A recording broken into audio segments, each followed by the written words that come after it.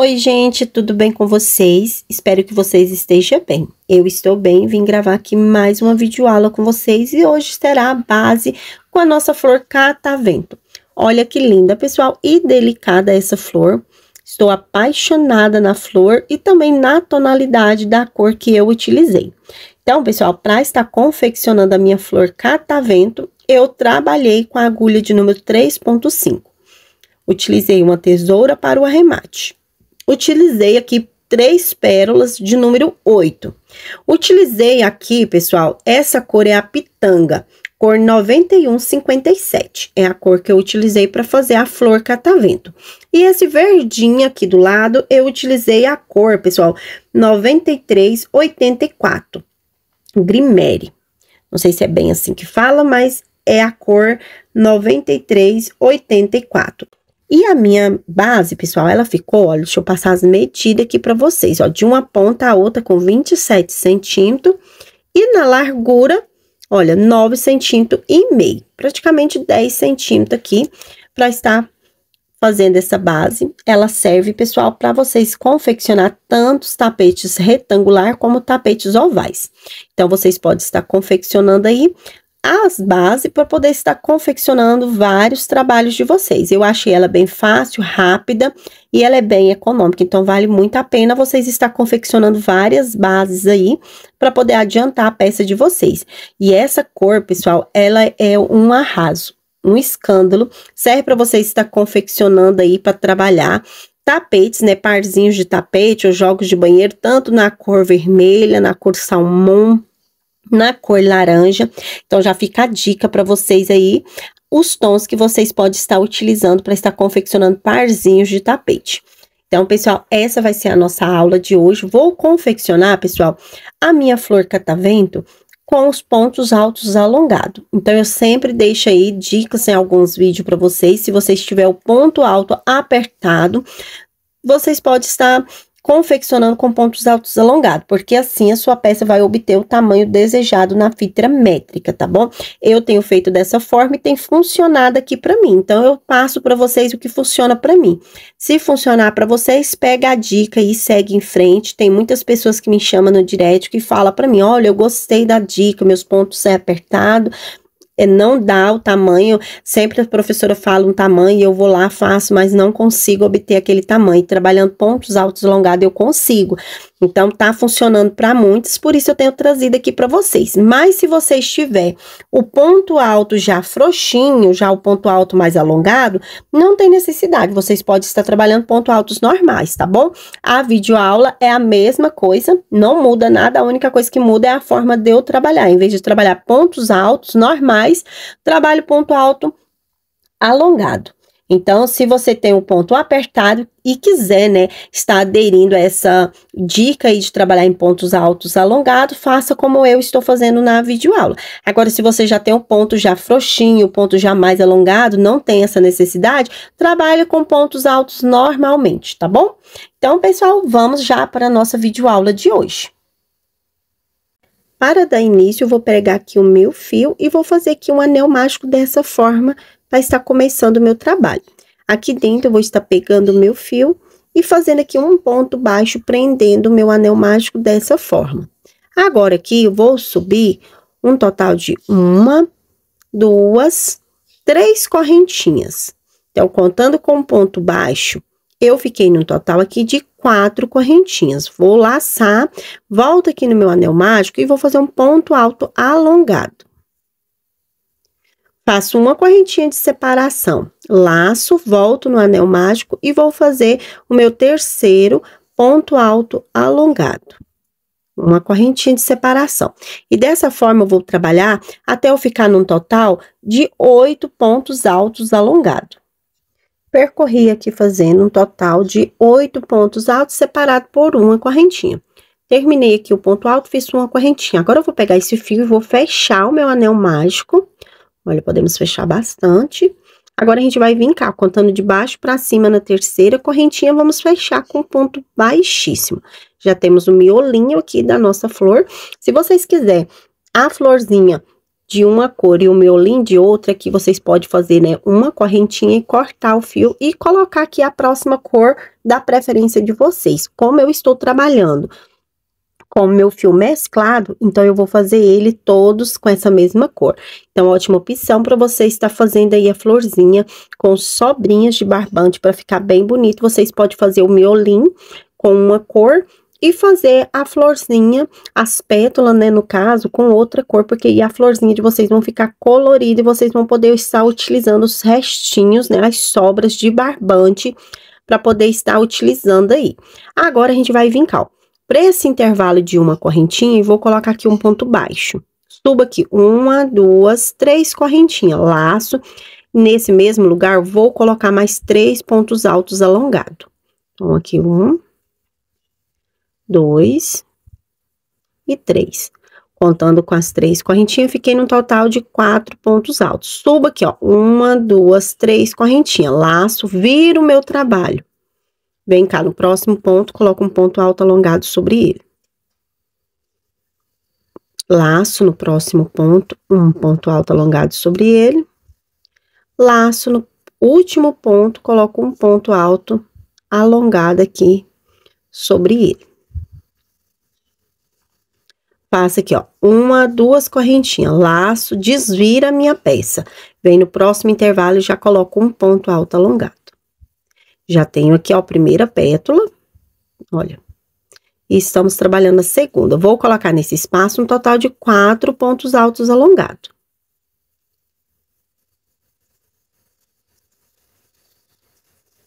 Finalizei aqui os quatro pontos altos alongados, ó. Faço três correntinhas. Viro o meu trabalho, ó, tá dessa forma, eu faço isso, ó, viro ele. Laço, e coloco ponto sobre ponto. Vou fazer um ponto para cada ponto, contando com as três correntinhas que fizemos para subir, ficamos num total de quatro pontos altos novamente, ó. Contando com essas três correntinhas aqui que fizemos e viramos, colocamos mais três pontos, um em cada ponto, ficamos com quatro pontos. Faça aqui uma, duas correntinhas, desvira o trabalho. Já tem a segunda pétala pronta, vou vir cá no próximo intervalo de uma correntinha fazer a minha terceira pétala. Então, essa é a sequência, pessoal, que a gente vai percorrer. Vamos ficar no total aqui de oito pétalas. Então, olha, cada intervalo de uma correntinha, vamos colocar quatro pontos altos. Depois, subo três correntinhas. Viro o trabalho, coloco ponto sobre ponto.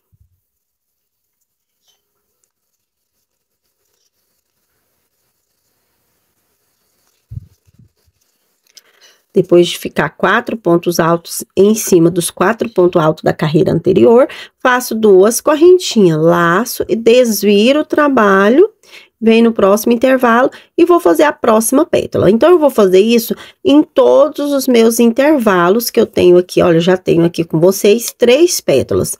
Vou seguir fazendo essa mesma sequência de repetição. Quando eu chegar aqui no meu último intervalo, volto com vocês para a gente fazer a emenda junto. Terminei aqui, pessoal, minha última pétala, colocando ponto em cima de ponto, fiz as duas correntinhas. Agora, eu vou desvirar novamente e vamos vincar. Para fazer a emenda, a gente vai vincar. Nessa primeira pétala aqui, ó, a gente tem um ponto baixo, uma, duas, aqui no pezinho, ó, na terceira correntinha aqui, ó, a gente vai prender aqui com ponto baixíssimo. Então, bem no pezinho, a gente faz um ponto baixíssimo. Vou fazer mais uma correntinha e a gente já pode cortar o fio, porque a gente já terminou essa parte aqui da pétala da nossa flor catavento. Olha, eu venho aqui, puxo esse fio, venho com ele aqui atrás, para mim poder fazer os arremates aqui, os acabamentos da minha peça, olha. Caminho com ele aqui abaixo, nos fios. Aqui eu abro ele em duas partes Passo novamente aqui noutra perninha do meu fio. E aqui eu vou fazer um nozinho. Esse do meio a gente não corta agora, tá, pessoal? Que no final a gente vai colocar uma pérola nele. Então, a gente não corta para poder estar tá fazendo a aplicação da pérola. Olha, fiz aqui três nozinhos, vou vir novamente, ó, aqui nos fios e vou caminhar ele aqui para frente. Agora que eu posso cortar. Olha. Assim. Ficamos com a nossa florzinha catavento finalizada. Agora, a gente vai passar o verdinho amontando o nosso square. Então, pra gente fazer um square para um tapete, a gente vai precisar de três florzinhas catavento. Já tem as outras duas aqui pronta, olha. Então, vocês, se vocês ainda não tiver, vocês pausam o vídeo aí faz mais duas florzinhas, porque eu vou ensinar vocês agora, porque sei que tem muitos iniciantes que ainda não sabem fazer as emendas do square, ou às vezes sabe fazer da maneira mais difícil, eu sabia fazer, e eu confesso que a forma que eu fazia eu achava mais complicado. Essa forma eu acho mais fácil, então eu vou estar tá ensinando para vocês como eu faço a montagem aqui do square das minhas florzinhas. Então, vou pegar aqui o meu verde, vou fazer aqui uma laçadinha para estar prendendo na minha agulha. Olha, dessa forma. Vamos começar, eu vou reservar duas florzinhas, vamos começar com uma. Então, a gente vai fazer uma laçada, em qualquer um desses espacinhos de duas correntinhas, vamos colocar aqui um ponto alto, alongado. Laço novamente, vou colocar aqui mais dois pontos altos alongados. Faço duas correntinhas de separação, laço e nesse mesmo lugar vou colocar três pontos altos alongados. A gente vai ficar aqui com o leque. O nosso leque é três pontos altos, duas correntinhas e três pontos altos no mesmo lugar. Faço uma correntinha de separação, laço, aqui no próximo intervalo, vou colocar aqui dentro três pontos altos alongados.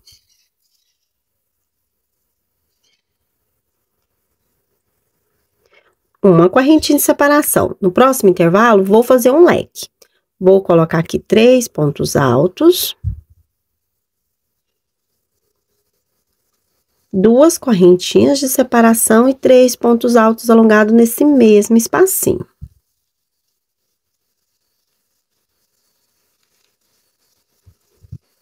Faço uma correntinha de separação. No próximo intervalo, três pontos altos.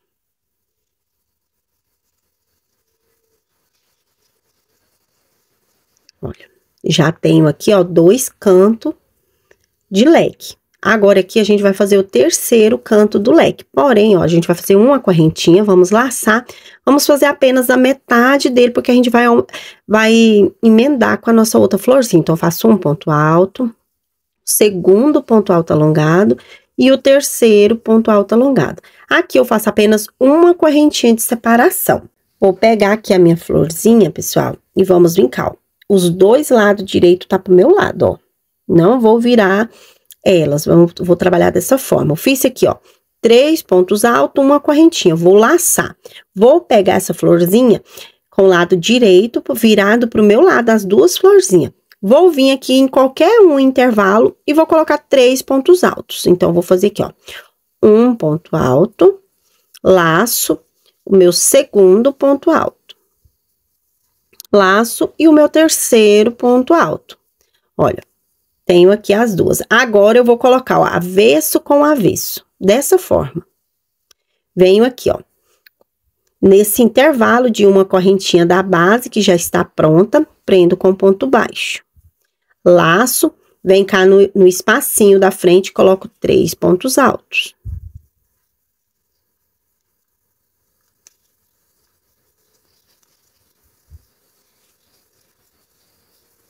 Olha, vem cá no espacinho de uma correntinha, aqui a gente não dá correntinha de separação, ó, já prendo com ponto baixo. Laço, sem nenhuma correntinha de separação, vou vincar, aqui eu vou fazer o meu leque, então, vou fazer três pontos altos.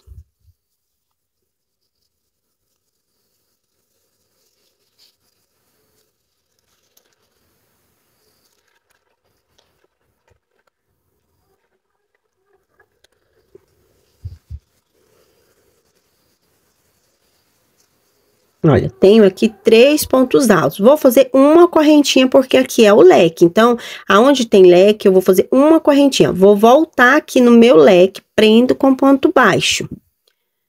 Faço uma correntinha, laço e volto aqui preencher mais três pontos altos para concluir o meu leque desse lado de cá. Olha, a gente já tem uma florzinha emendada na outra, olha. Tá vendo? Olha, já ficou emendadinho. Agora, a gente vai seguir aqui para emendar a próxima florzinha. Então, a gente vai vir aqui, ó. Uma correntinha de separação, porque aqui não tem mais emenda, então a gente põe correntinha. Vou vir nesse intervalo, vou colocar três pontos altos alongados.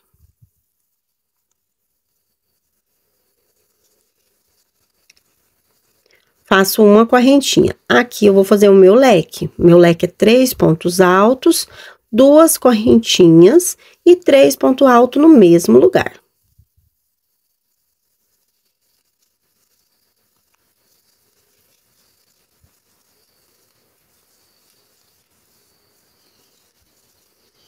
Faço uma correntinha de separação. No próximo intervalo, três pontos altos.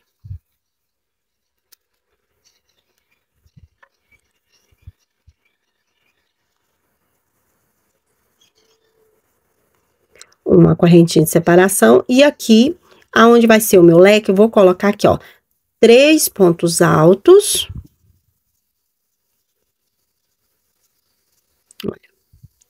Aqui ficou um canto, aqui tem que ser o outro canto. Porém, eu vou fazer uma correntinha e vamos emendar a nossa próxima florzinha. Então, eu fiz aqui, ó, uma correntinha, laço meu fio, pega a florzinha, virado direito pro meu lado. Vem qualquer um desses espacinhos e vou colocar três pontos altos.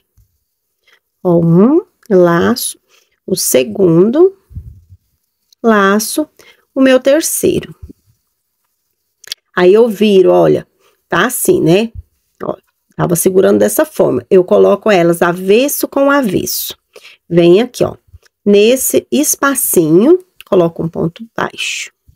Laço, no próximo intervalo aqui, vou fazer três pontos altos. Estamos fazendo a última florzinha, ficando já com a nossa emenda. Olha, fiz três pontos altos alongados, sem nenhuma correntinha de separação. Vem nesse espacinho de uma correntinha, prendo com ponto baixo. Laço sem nenhuma correntinha. Venho aqui, aqui é onde será o nosso leque. Então, vou colocar três pontos altos alongados.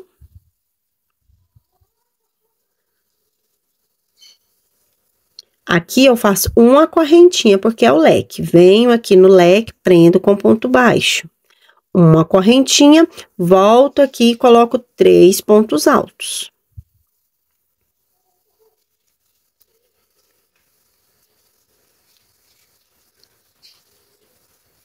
Faço uma correntinha. Nesse intervalo, a gente já ficou com a emenda. Sempre que vocês finalizar, vocês faz isso, ó. Pra ele ficar retinho. Dá uma puxadinha, que aí ele vai ficando reto. Agora, a gente vai preencher aqui pra gente fazer tudo que a gente tá fazendo aqui. Então, eu vou vir cá, eu fiz uma correntinha. Nesse intervalo, vou colocar três pontos altos.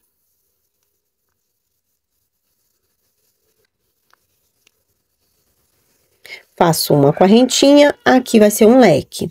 Três pontos altos, duas correntinhas e três pontos altos.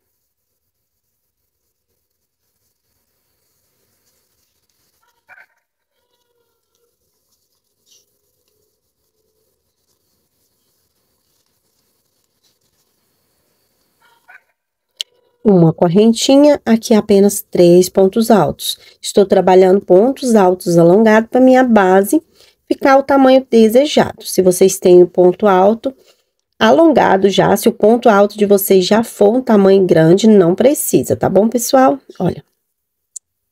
Vou fazer uma correntinha, no próximo aqui vou colocar um leque. Sempre eu tenho passado as dicas para vocês aí nas videoaulas, você que tem o ponto alto pequeno para vocês trabalhar ponto alto alongado, que assim vocês fazem menos quantidade de carreiras, já obtém o tamanho que vocês querem na fita métrica. Agora, se vocês têm um ponto alto já largo, não tem necessidade de trabalhar em pontos altos alongados, olha. Isso aqui é um canto. Agora, a gente vai voltar aqui, ó, nessa lateral, fazendo tudo que a gente fez aqui. Vou voltar até aqui para vocês verem como vai ficar a emenda. Ó, Fiz aqui uma correntinha. Nesse intervalo, vou colocar aqui três pontos altos.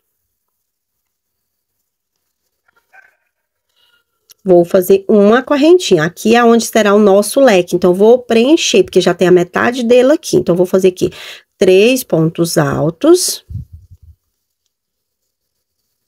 Vou fazer uma correntinha de separação. Vem cá, nesse intervalo, ó, tá vendo que tem esse intervalo aqui entre eles, aonde a gente fez uma correntinha, aqui eu prendo com ponto baixo. Faço uma correntinha e preencho aqui três pontos altos, finalizando meu leque do lado de cá.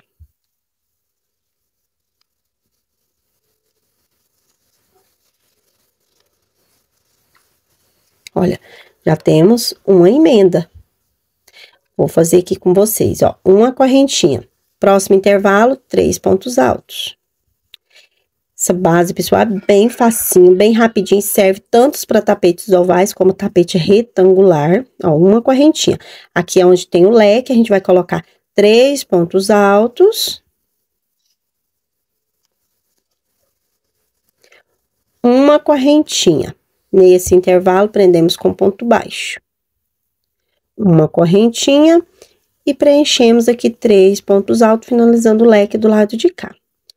Ele é bem facinha de estar tá fazendo, essa emenda é bem rapidinho, então até você que é iniciante vai conseguir fazer várias bases para estar adiantando o trabalho de vocês, ó. Vendo que é bem rapidinho, praticamente não cortei muito, só no decorrer da flor, mas a emenda, ó, tô fazendo tudo aqui junto com vocês, porque é bem facinho, bem rapidinho, ó. Aqui a gente já está no último leque,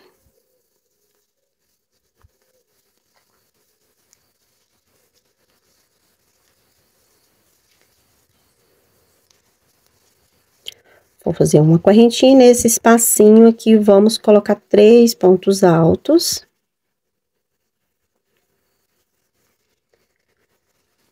Uma correntinha e aqui, ó, no, ó, no primeiro ponto alto aqui em cima, a gente prende com um ponto baixíssimo, finalizando, faz mais uma correntinha, alonga e corta o fio.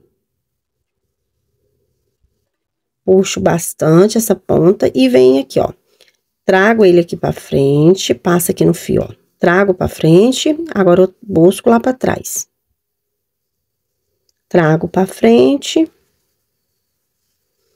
busco lá para trás. Aqui nessa correntinha eu busco para frente e nessa eu levo lá para trás e depois dou um nozinho. Essa pontinha aqui, ó, o que eu faço? Eu venho nessa correntinha aqui, ó. Busco ele aqui para frente na próxima correntinha eu levo lá para trás. Agora eu venho aqui, ó, busco para frente e levo novamente lá para trás, porque aí quando eu vim fazendo aqui o meu tapete, eu vou trabalhar nesse espacinho e já vai ficar seguro, porque aqui tem um nozinho e a minha peça vai ficar com os acabamentos bem finalizados, ó. Puxo, como eu falei para vocês, ó. Vem puxando, olha como ficou, pessoal, a nossa base, vocês arreta ela, ó, põe na superfície Faz isso, ó. Arreta a florzinha, olha, pra ficar bem facinha. Esses pontinhos aqui, pessoal, se vocês for colocar aquela, aquela pérola é, pregada aqui, pessoal, vocês podem estar passando esse fio aqui, amarrando, dando os dois nozinhos e cortando.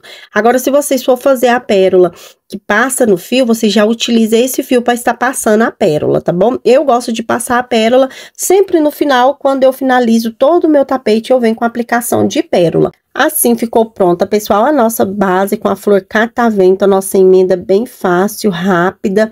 E essa base, pessoal, ela é econômica porque facilita bastante. Ela é bem rapidinho. Não acho que ela gasta muito esse modelo da Flor Catavento. E fica muito lindo, delicada a base do nosso tapete. Essa foi, pessoal, a nossa aula de hoje. Eu espero que vocês tenham gostado.